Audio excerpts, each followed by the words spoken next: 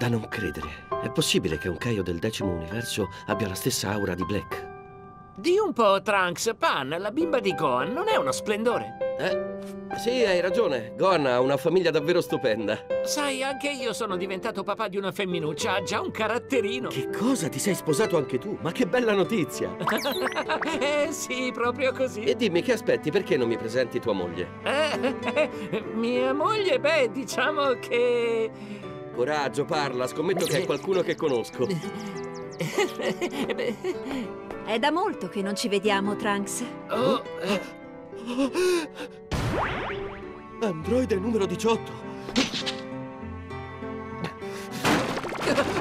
No, Trunks, aspetta un momento, non c'è pericolo, cerca di calmarti. È lei, mia moglie, C18.